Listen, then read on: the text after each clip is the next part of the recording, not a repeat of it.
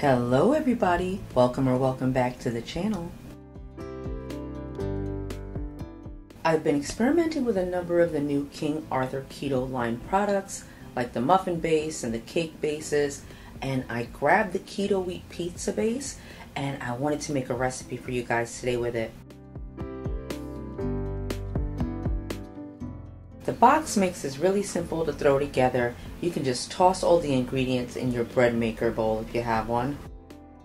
Or go ahead and knead the ingredients together by hand. It'll just take a little longer, but you'll be fine. I'm also going to add in pizza dough flavor and it adds a more garlicky and cheesy flavor to the dough. I'm going to add in some pizza seasoning as well. You can do the same or of course add whatever you have on hand at home. I let the mixer run for about 5 minutes to let it knead together until it was nice and bouncy.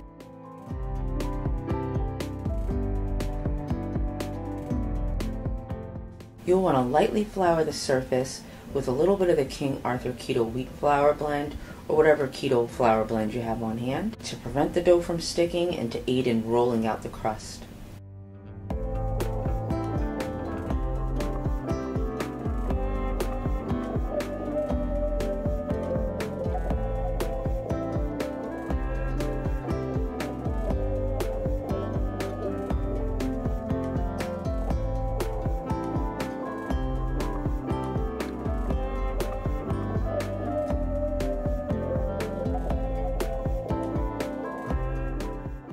You can go ahead and roll that dough out to your preferred thinness. I like a nice thin crust pizza.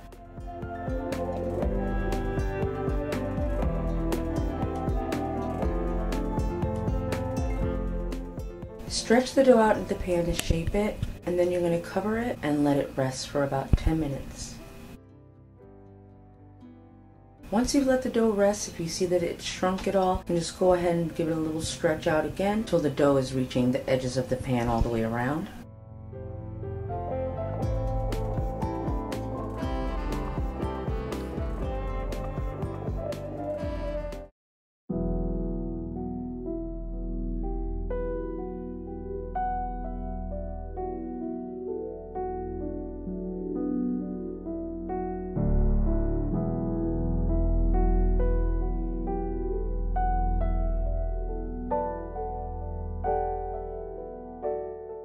I find it helpful to go ahead and just stretch the dough also in addition to rolling it out with a pin.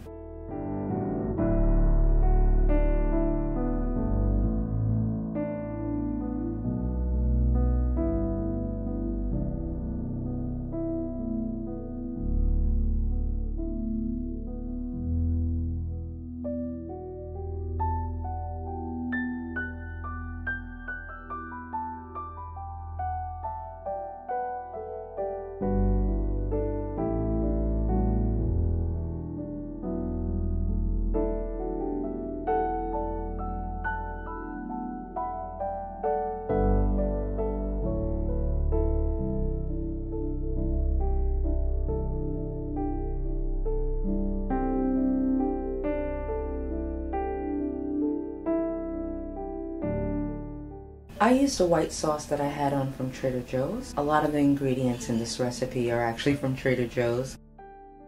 But you can use whatever sauce you have on hand. You're just going to want a white sauce for the white pizza.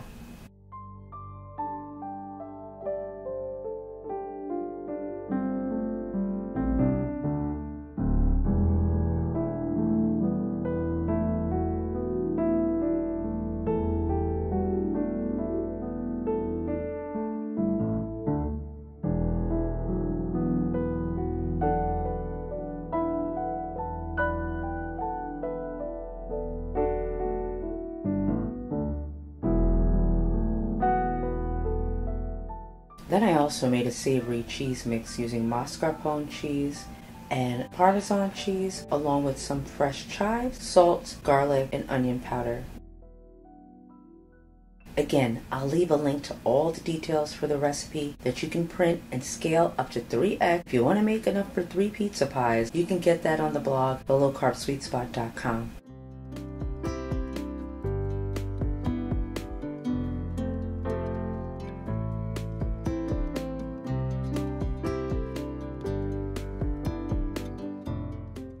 Then I went ahead and sprinkled on a little bit more freshly shaved Parmesan cheese.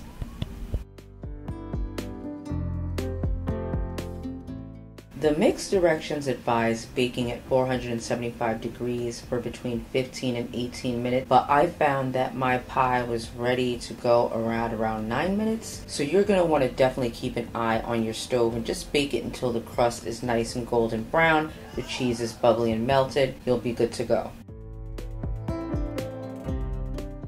And again, I love that this box mix will yield two servings of dough. So you can go ahead and make one pizza right away and then have yourself set up for meal prep for the week with the dough ready in the fridge or the freezer. So you can just pop it out early in the day, let it rise, and then by the time you're ready for dinner, you're all set to go. Roll it out, add whatever toppings you have on hand, and you're all set for dinner.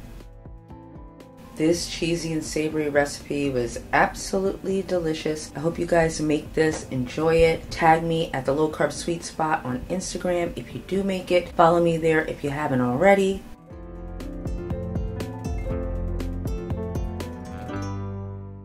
And leave a note in the comment section below if you've made the pizza mix, what toppings did you add, or have you found some new and creative ways to use the King Arthur Keto Pizza Mix? I want to hear about it. Let me know in the comment section below.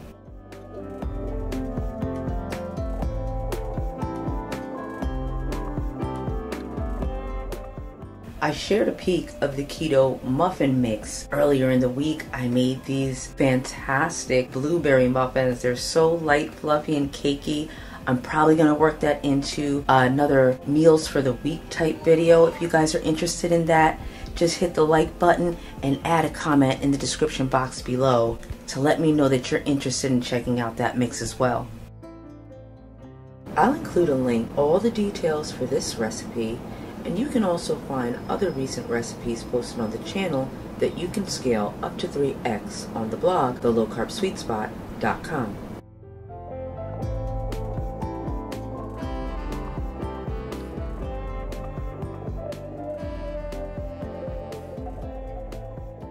Thanks for watching.